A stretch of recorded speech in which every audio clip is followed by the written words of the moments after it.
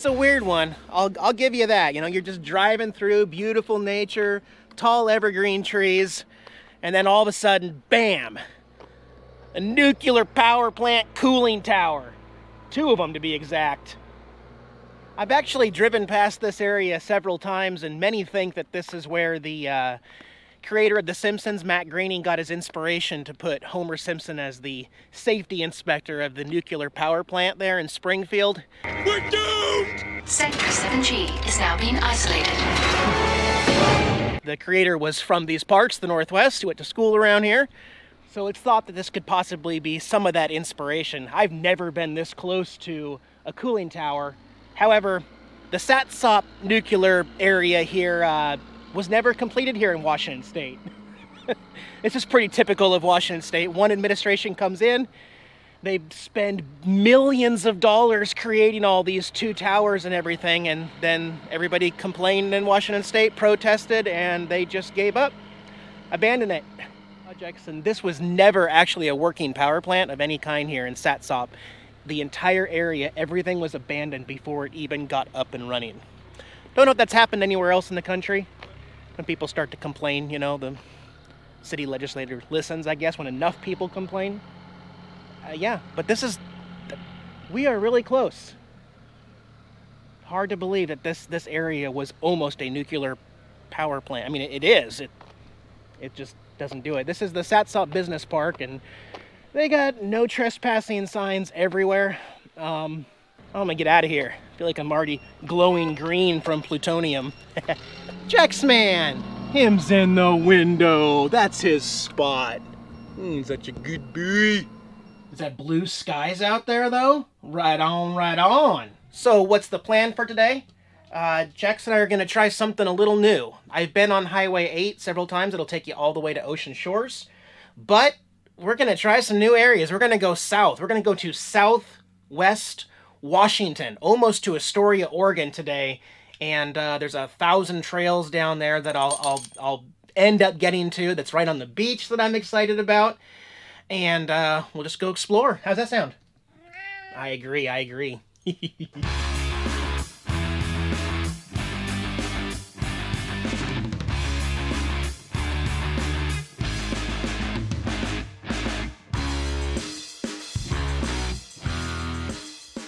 What did I find here?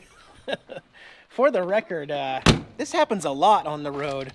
I'll be driving and just looking to my left and right, and if I see something, like for instance, I was driving on this road up here and looked down here at this little river spot.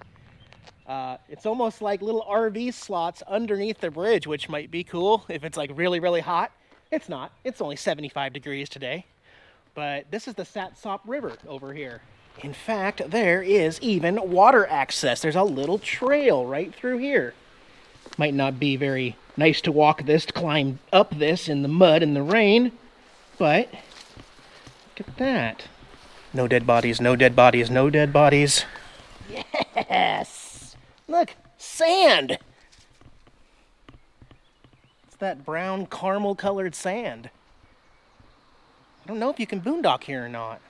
Look away if you're squeamish about dead fish, because for some reason there is a huge pile of dead fish carcass right here. Oh, I don't know. Oh, yeah? Oh, female doe over there. Efficient. Don't show us deer butt. Keep it pushing, dude. Maybe came down to get a drink of water or something? Kind of surprised she's alone. Oh, never mind. There's a couple more over there, too. There's three of them down here. All three females. Two right there, and then this one catching up. That's pretty cool. I think this would be a really cool spot to cool off when it's warm. So I'll uh, pin this for future use in case I ever find a, a hot day where I need a little private escape. Let me walk up here just make sure it doesn't say we can't use this spot. Hang on, I do see some signage up here. Let's go check it out. What does this say? Perfect, fantastic. All the information I needed to know. You need a Discover Pass to use these areas in the daytime. No overnight parking or camping, and it's closed 10 p.m. to 4 a.m. So you got to be out of here by 10 p.m. Can't boondock in this area, but you can enjoy it in the daytime. All right, we'll get back on the road. Okay, So I've never in my life even been in Pacific County, Washington. We're in Raymond, Raccoon. Uh, there's a bunch of metal sculptures all over the place here. Yeah. Pretty neat welcome, actually. They're pretty thick, too. They're thicker than half inch, probably 5 8 inch steel. A nice little welcome. And then there's that smell of Raymond. Lumber. it's, uh, it's no secret that this area is an old lumber. That's what brought it to life, right? But it's definitely died down some. Uh, but they still produce lumber and put it on trucks and take it everywhere. Are you singing a song? He's singing a song. Here's one of the other entrances here, and down that road, more metal sculptures. And across the street here, that's what we're smelling. All that lumber getting ready to go on trucks and then go give us some TP for our bunghole, probably. or paper for your printer or whatever. Did I mention we're back on the 101 though? I don't even know how that's possible. 101 loop is up north and it breaks and then it shows back up here. So we're on the scenic byway again, the 101 scenic byway. And ah, Tokeland. That's where I need to go. We need to go to Tokeland. This is like the apex of the vortex of joint engineering. But we're going the opposite direction. That's pretty funny. But yeah, we're back on 101, which will eventually, here by the end of the day, get us to the coast, and then it goes right down Washington, right down Oregon, into California till it turns into the Highway 1. Yeah, another neat little coastal city here. South Bend, Washington. Big 101 sign, and of course the gray skies now. I thought there was a chance of seeing some sunshine, but then I remember we're going towards the ocean, so no, it turns gray. This is a Robert Bush Park dedicated to the ladies of the oyster industry. Nice. I do definitely smell seafood next door. I'm not a big seafood fan anymore.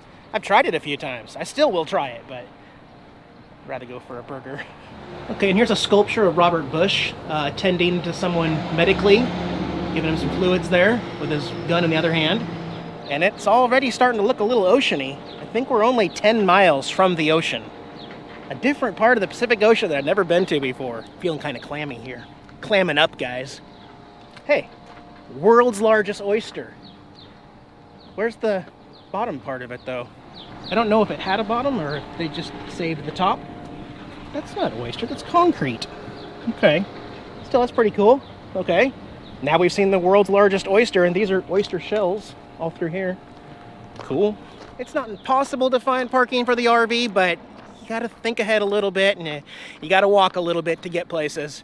I am eager to go get parked and settled at this Thousand Trails down the road at the ocean so that we, I got the e-bike, we can go explore.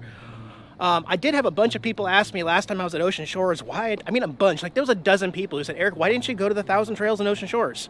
And I was so confused because I'd still never found a Thousand Trails in Ocean Shores. If you click on the map view, there isn't one. But if you call Thousand Trails and ask them, there is a hidden one that's not advertised. It's not on the map. It's not on their site, but you can reserve it if you call at Ocean Shores. So now I have that one available back home too, but we're already down here now. Okay, wait, you know how the newspapers have the correction page at the end? When I called it the Satsop River underneath that bridge, that was actually the Chehalis River. Satsop River is farther uh, east, and this isn't a river either. This thing that we just saw over here that looked like an ocean, it's actually a an inlet, a bud, like a Puget Sound area. It's, it's an inlet, basically. The ocean is right over there, but now we're going to go south on 101 to get to Long Beach. So the ocean is over there. We'll be riding it for a little bit as we get on uh, south into new territory. Oh boy, why don't you just sleep it all off, Jax? Can you guys see him? I don't.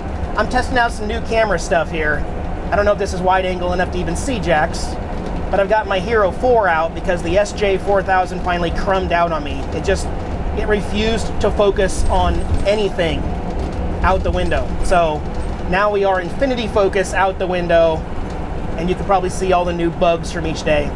I will continue to clean the windshield every single day, but throughout the day, we are going to get random splatters.